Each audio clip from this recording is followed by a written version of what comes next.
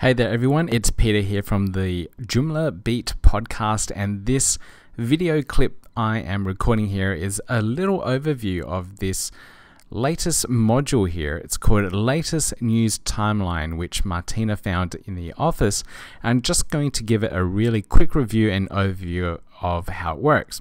Essentially, it is a really nice vertical way of showing articles that have been added into a particular category and have been filtered out by this module.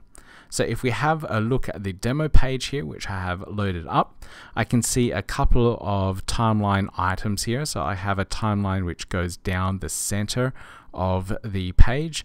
And on either side in chronological order that's the order by date I can see articles and their publishing dates across the top. So as I scroll down I can see more and more articles. And it's a really nice visual way of displaying blog articles, news articles, or events in a vertical and visual representation. So if I click on view more posts here, it should load up a couple more items. Yep, there it goes. I'll scroll down and it's a has a lazy load effect so all these images load only on my request so I've pulled them down and the internet is very slow today but I can see more and more images appear and more and more articles that uh, appear under that. So I'm just going to click on this one here, the Star Wars game, which I am enjoying very much on the iPhone at the moment. I'll click on that and that should take me to the full article view of that particular particular article that I just clicked on. So I'll just go back and I'll go back to that view. So it's a really nice, quick, easy way to display articles in a more creative fashion. Now, we mentioned this on the episode 72 of the Joomla Beat podcast, and you can listen to what Martina thought about this particular module and how it could be used. Now, I'll just go up to this tab here, and this is the Perfect Web Team over in the Netherlands. So perfectwebteam.nl and Sander and a whole bunch of other guys actually form this team. And they're, they're, they're some really cool Joomla guys. And we can see how they have implemented something very similar. I don't think they're using the same module, but you can see how it is represented here.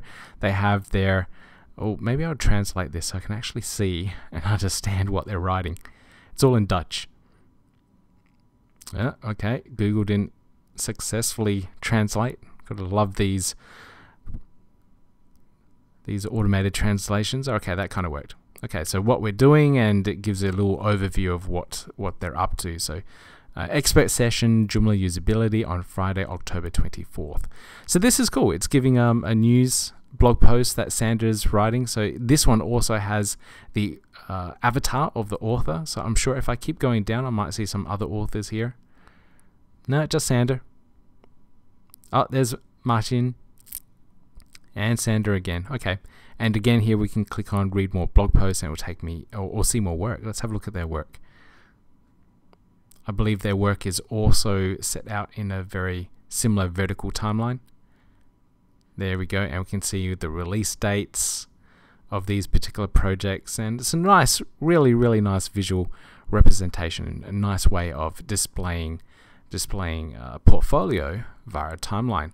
And you can do that all via this latest news timeline module. And I recommend having a little play with that. And let me know what you think. Leave a comment in the show notes, uh, the YouTube video here, or back on the Joomla Beat site at joomlabe.at. Thanks, guys.